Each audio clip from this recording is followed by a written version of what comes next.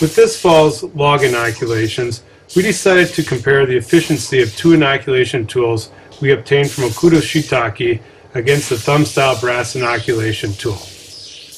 With a semi-automatic gun, a simple press of the trigger fills the inoculation site and seals it with a styrofoam cap. Observe that the operator has checked the spawn fill rate with his finger to make sure it is properly filled, and it certainly is. Sawdust spawn from a reservoir is shot through a tube at high pressure into the drilled hole. The inoculation rate is about one hole per second or so. Fill rate is dependent upon the operator's hand-to-eye coordination. This tool is also available with a hot wax sealing option. In this footage we view the manual spawn gun at work. The operator is gently tapping the tool into the spawn twice for the proper fill.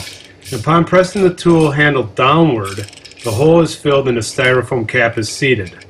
Proper fill is indicated by the cap being flush with the bark surface.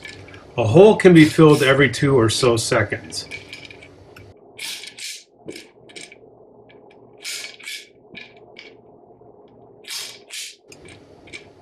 The styrofoam caps for both tools come in strips so that the loading is easy and one cap is placed per shot of spawn.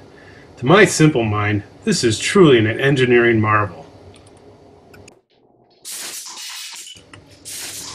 Here we have an inoculation race, and they're off! It would appear that the pneumatic spawn gun will be the winner by at least a log length. While the thumb style tool tries to outdistance the manual spawn gun for a second place finish, it is evident that Though the operator is handicapped by having to lean to get to the other end of the log, the thumb style tool will clearly be the third place finisher as the inoculated log will still have to be waxed.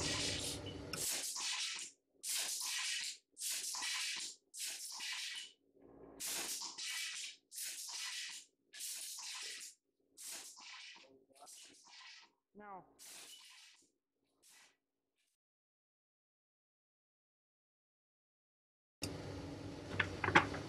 The question is, how well does this work?